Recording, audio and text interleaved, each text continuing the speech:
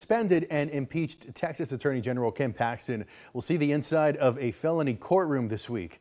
The court in Harris County confirms Paxton is set to be in attendance on Thursday. He's facing multiple counts connected to a security fraud investigation.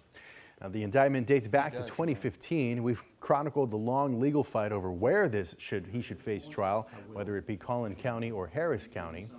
Now, this is a criminal proceeding that is separate from his impeachment trial that's set to start September 5th at the Capitol. We do plan to have a crew at the courthouse on Thursday. We'll let you know what happens on air and online at KXAN.com.